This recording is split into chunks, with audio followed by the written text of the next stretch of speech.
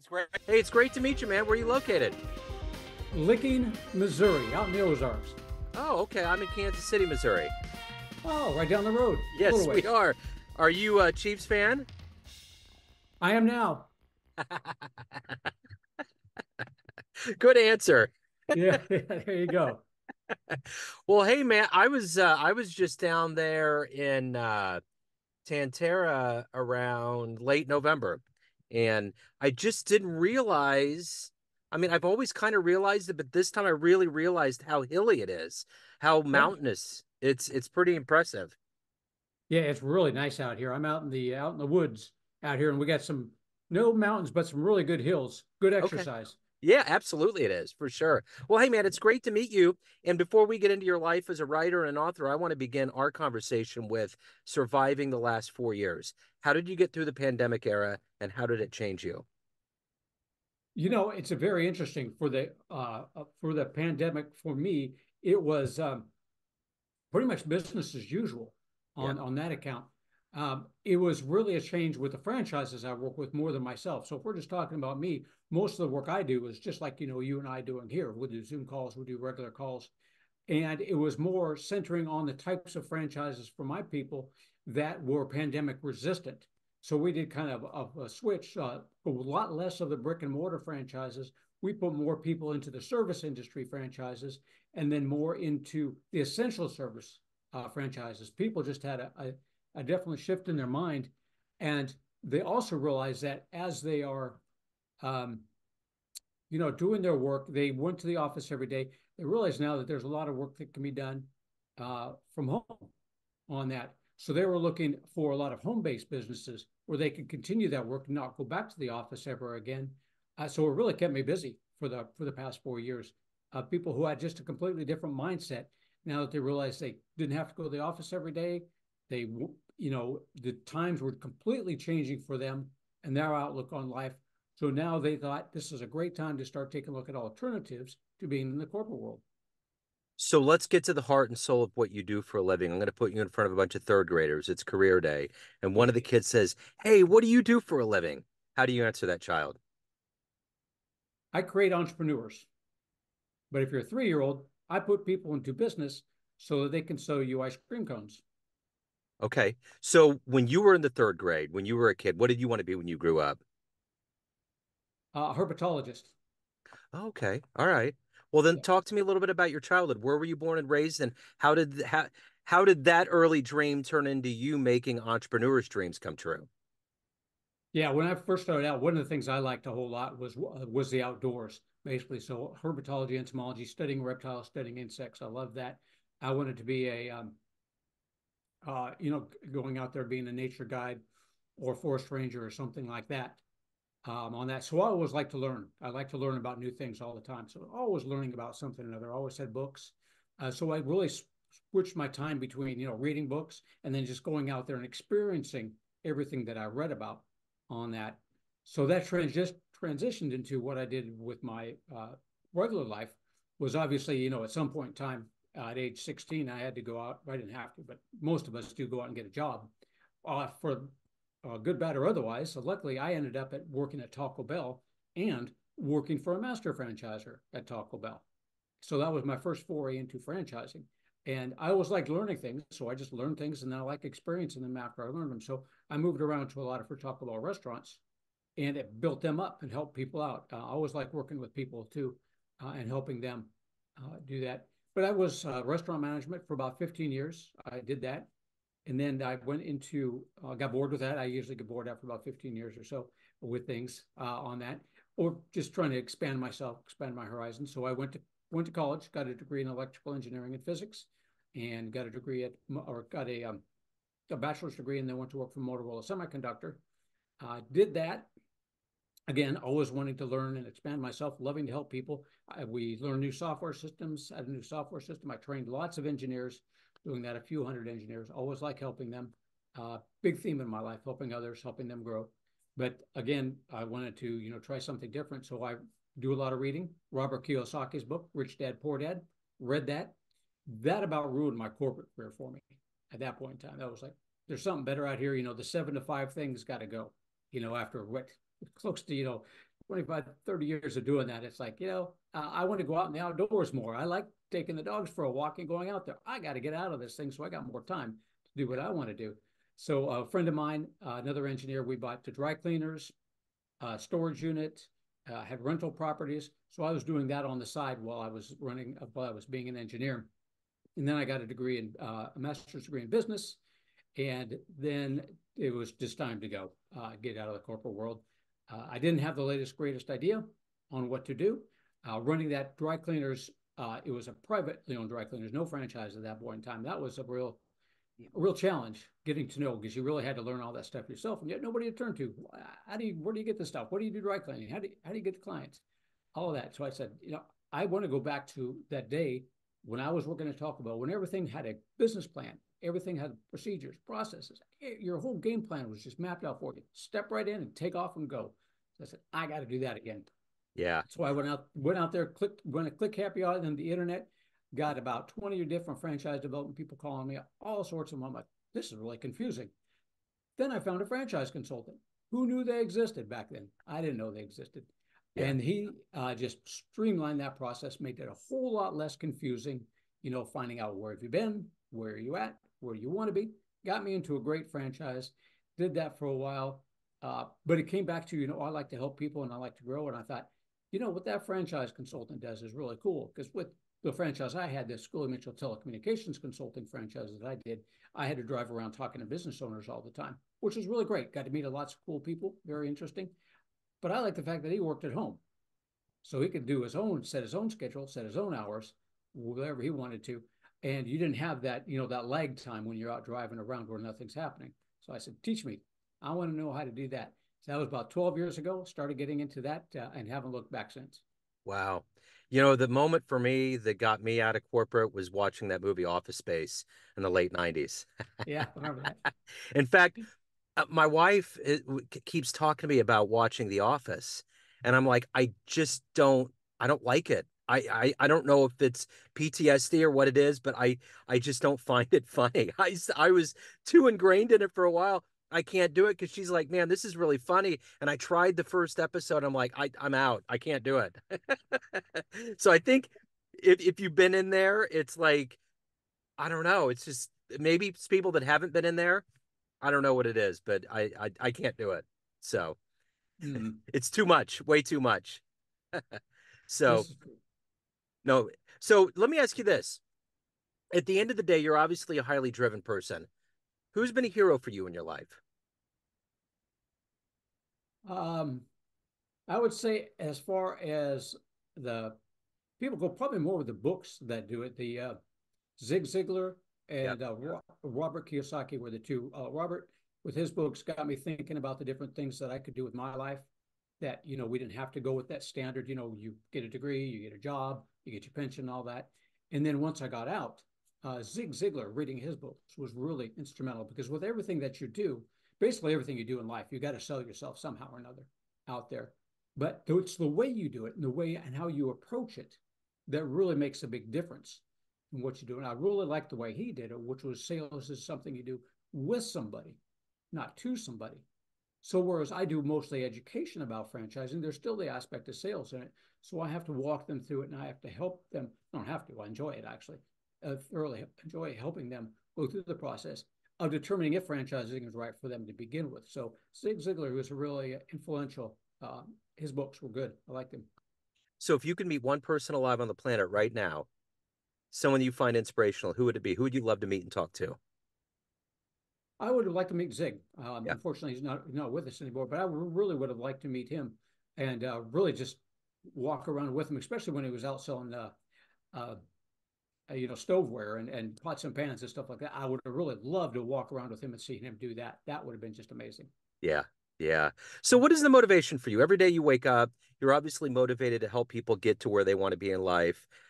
What is that th- that makes you do that? And then also as a human, evolve yourself?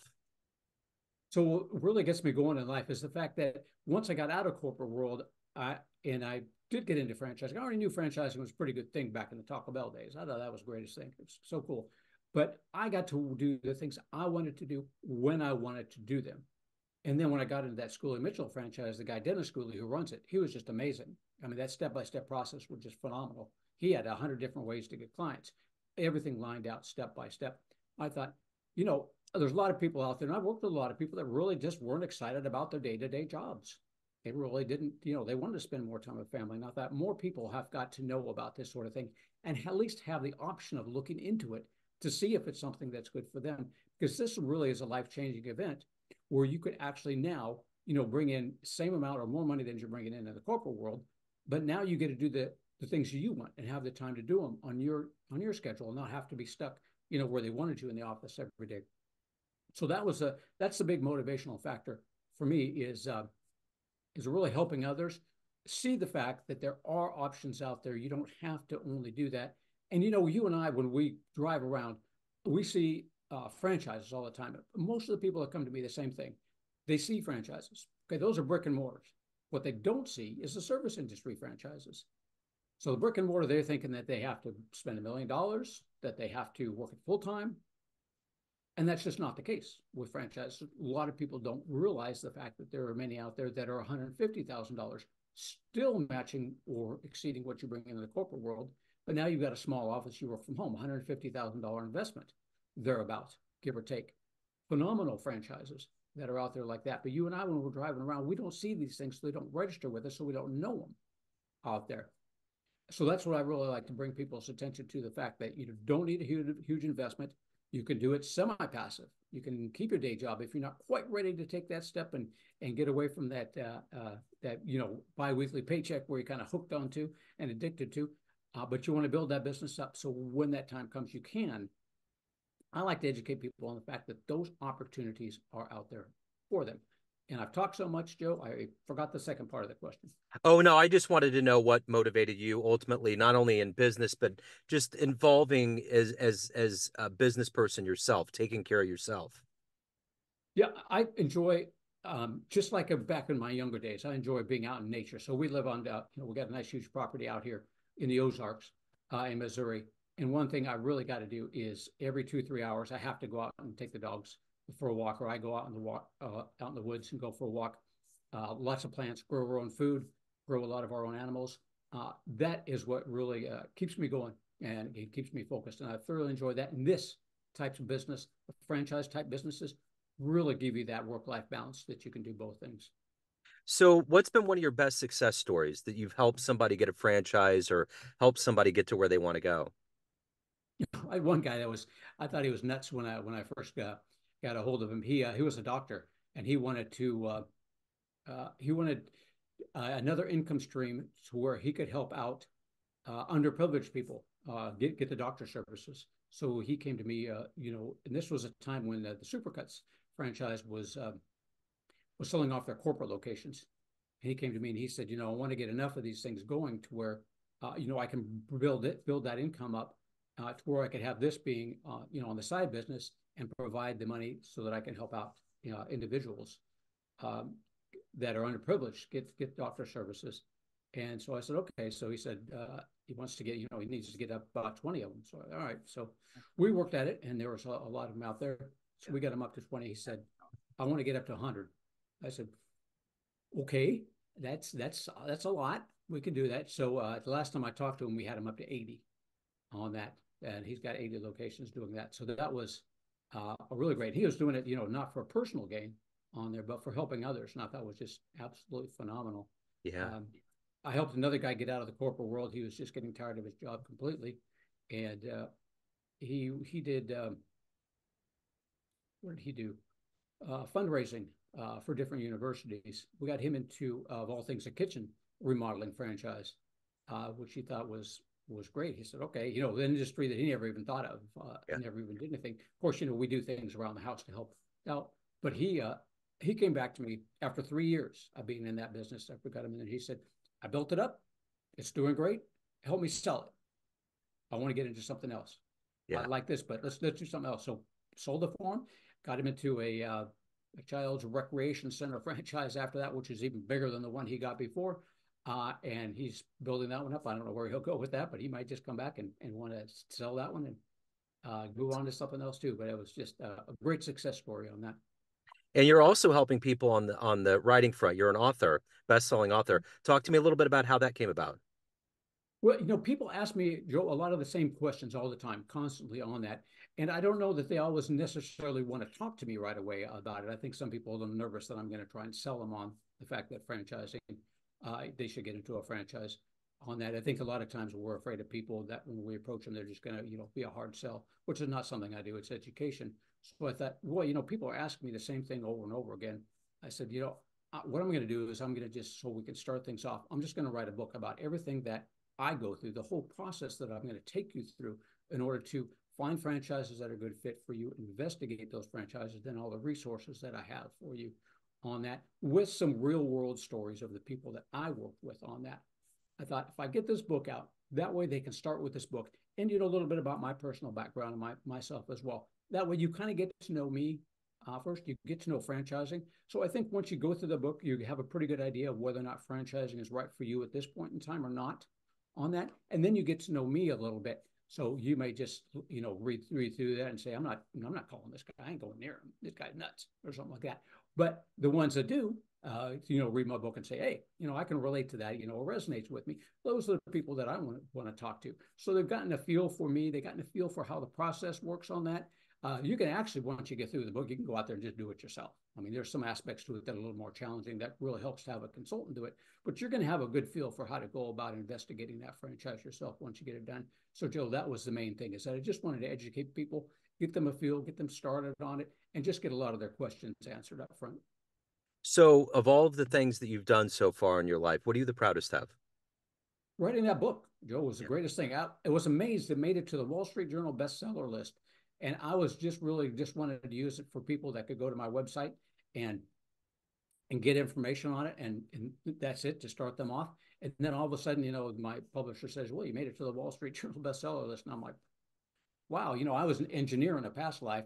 You know, I got a C in English yeah. on that. You know, that was I had a guy from uh, uh, from southern uh, uh, South America out there that got a better score in English than I did, and English was a second language. He was always teasing me about it, and so I was just I was just surprised that that, that it made it. Uh, of course, the publisher helped me, you know, make complete sentences and things like that. yeah. Uh, on that. But uh, I put put the book together, and it's just the fact that it made it to the Wall Street Journal list was just astounding. I'd never even dreamed that it would do that.